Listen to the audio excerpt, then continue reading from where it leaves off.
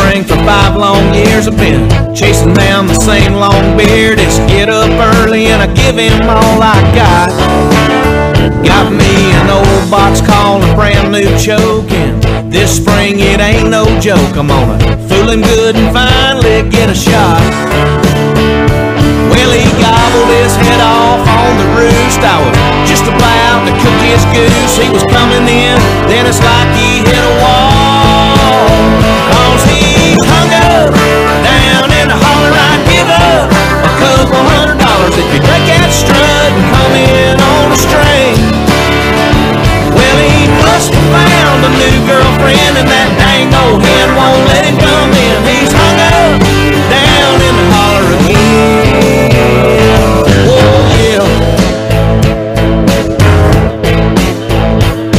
Well, I slipped around to the other side just to let him think I let him slide and give him an hour or two to do his thing.